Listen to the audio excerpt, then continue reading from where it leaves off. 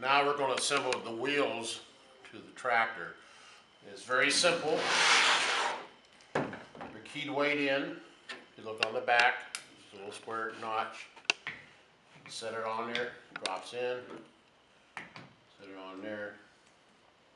And it drops in, like so.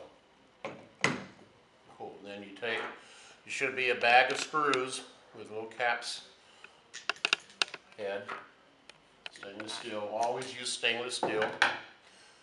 And I suggest to get, uh, the ball end Allen's metric. Helps you out. There should be a, a, um, lock ring behind each of these wheels that stays in the, the tire itself that keeps it from backing out. And we flip this over to the other side. This. That.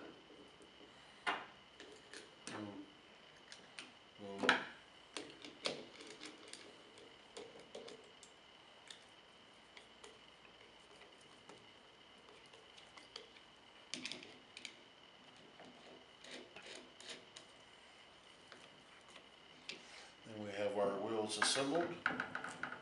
Next step, we're going to attach the camera to the front end. As you notice, there's three pins, one, two, three, and its guide onto the uh, back end, it has three holes, one, two, three. Top is the black, covers mainly the top, and we want to assemble it. And when you're assembling this, make sure the O-ring is lubricated and present. If there's no O-ring, please give us a call and uh, we'll supply some O-rings. Anyway, um, pogo pins, make sure they are all depressing in and out. Make sure the pads are clean. And the assembly is pretty much a snap. Pull the collar up. Take your uh, Allen wrench. Like so.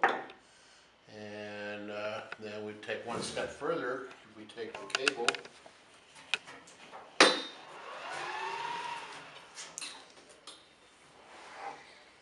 And it's the same way attaches where the the tractor, the back cable attaches the same way.